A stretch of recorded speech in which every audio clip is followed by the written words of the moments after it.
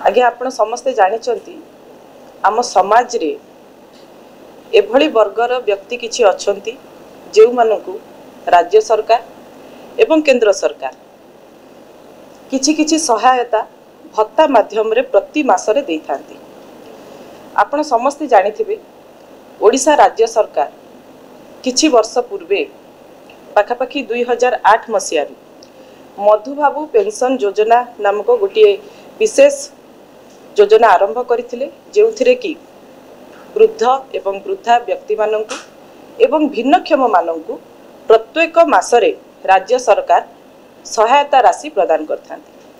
ଏବଂ ସେଇ ଭତ୍ତା ଗୁଡ଼ିକ କେମିତି ସୁରୁଖୁରୁରେ ସେମାନଙ୍କ ପାଖରେ ପହଞ୍ଚି ପାରିବ ସେଇଥିପାଇଁ ଆମ ରାଜ୍ୟ ସରକାର ପଞ୍ଚାୟତ ସ୍ତରରେ ଭତ୍ତା ବଣ୍ଟନ କାର୍ଯ୍ୟକ୍ରମ କେମିତି ହେବ ସେ ଦିଗରେ ସବୁବେଳେ ଧ୍ୟାନ ଦେଇ ଆସିଛନ୍ତି।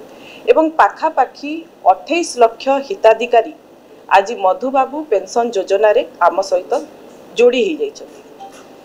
କିନ୍ତୁ ଦୁଃଖର ବିଷୟ ଯେଉଁ ବ୍ୟକ୍ତିମାନେ ଜାତୀୟ ପେନ୍ସନ୍ ଯୋଜନା ମାଧ୍ୟମରେ ଭତ୍ତା ପାଉଛନ୍ତି ବା ଜାତୀୟ ପେନ୍ସନ୍ ସ୍କିମ୍ରେ ଅନ୍ତର୍ଭୁକ୍ତ ଅଛନ୍ତି ସେହି ହିତାଧିକାରୀଙ୍କ ସଂଖ୍ୟା ଆମ ଓଡ଼ିଶାରେ କୋଡ଼ିଏ ଲକ୍ଷ ହୋଇଥିଲେ ସୁଦ୍ଧା ସେମାନେ ଯେତେବେଳେ ତାଙ୍କର ପେନ୍ସନ୍ ପାଇବା ପାଇଁକି ମାସ ଶେଷରେ ବ୍ୟସ୍ତ ହୋଇପଡ଼ିଥାନ୍ତି।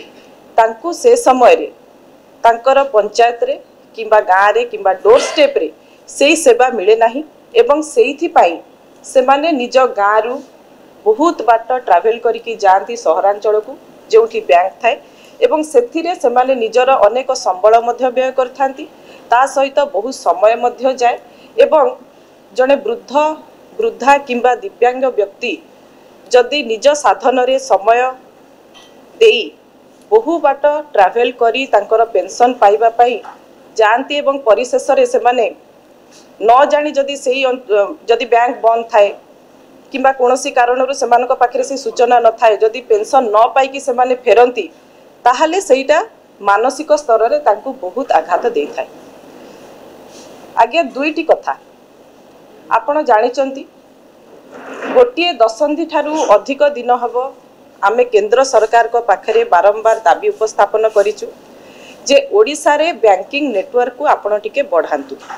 ଆପଣ ଯଦି ସର୍ଭେରୁ ଦେଖିବେ ଷ୍ଟାଟିଷ୍ଟିକ୍ରୁ ଦେଖିବେ ତାହେଲେ ପାଖାପାଖି ଷାଠିଏ ପରସେଣ୍ଟ ଗ୍ରାମ ପଞ୍ଚାୟତରେ ଏପର୍ଯ୍ୟନ୍ତ ବ୍ୟାଙ୍କ ସୁବିଧା ପହଞ୍ଚି ପାରିନାହିଁ ବିଜୁ ଜନତା ଦଳ ସବୁବେଳେ କେନ୍ଦ୍ର ସରକାରକୁ ନିଜର ବାର୍ତ୍ତା ଦେଇ ଆସିଛି ଏବଂ କେନ୍ଦ୍ର ସରକାରକୁ ଅନୁରୋଧ ମଧ୍ୟ କରି ଆସିଛି ଯେ ବ୍ୟାଙ୍କିଂ ସେକ୍ଟରରେ ଯଦି ବ୍ୟାଙ୍କିଂ ନେଟୱାର୍କ ଆପଣ ବଢ଼େଇବେ ତାହେଲେ ଆମର ହିତାଧିକାରୀମାନେ ଉପକୃତ ହେବେ ଏବଂ ତା ସହିତ ଜନସାଧାରଣ ମଧ୍ୟ ଉପକୃତ ହେବେ।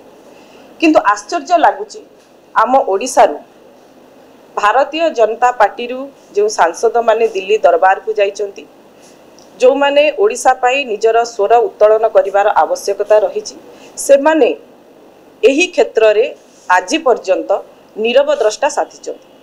କେବଳ ସାଂସଦଙ୍କ କଥା କହିଲେ ହେବ ନାହିଁ। ଆପଣ ଦେଖିଥିବେ ଓଡ଼ିଶାରୁ ଅନେକ କେନ୍ଦ୍ରମନ୍ତ୍ରୀ ମଧ୍ୟ ଅଛନ୍ତି ଯେଉଁମାନେ ବିଭିନ୍ନ ଗୁରୁତ୍ୱପୂର୍ଣ୍ଣ ପଦପଦବୀରେ ବିଭିନ୍ନ ଗୁରୁତ୍ୱପୂର୍ଣ୍ଣ ବିଭାଗରେ ମଧ୍ୟ କାମ କରୁଛନ୍ତି କେନ୍ଦ୍ର ସରକାରଙ୍କର।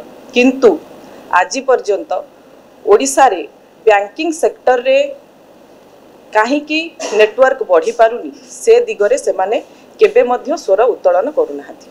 ଏବଂ ଆଉ ଗୋଟେ ଗୁରୁତ୍ୱପୂର୍ଣ୍ଣ କଥା ହେଲା ଯେଉଁମାନେ ଜାତୀୟ ପେନ୍ସନ୍ ସ୍କିମ୍ର ହିତାଧିକାରୀମାନେ ଅଛନ୍ତି ସେଇମାନେ ରାଜ୍ୟ ସରକାରଙ୍କ ଠାରୁ ପଚାଶ ପରସେଣ୍ଟ ପାଆନ୍ତି ଏବଂ କେନ୍ଦ୍ର ସରକାରଙ୍କ ଠାରୁ ମଧ୍ୟ ପଚାଶ ପରସେଣ୍ଟ ପେନ୍ସନ୍ଟା ପାଆନ୍ତି।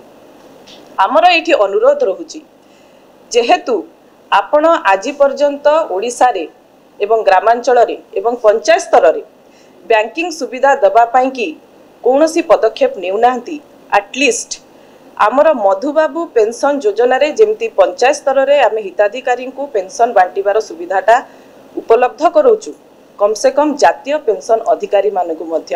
ସେଇ ସୁବିଧା ଯଦି ଆପଣ ଉପଲବ୍ଧ କରାନ୍ତେ ଆମ ମଡେଲକୁ ଯଦି ଫଲୋ କରନ୍ତେ ତାହେଲେ ହିତାଧିକାରୀମାନେ ହଇରାଣ ହୁଅନ୍ତେ ନାହିଁ।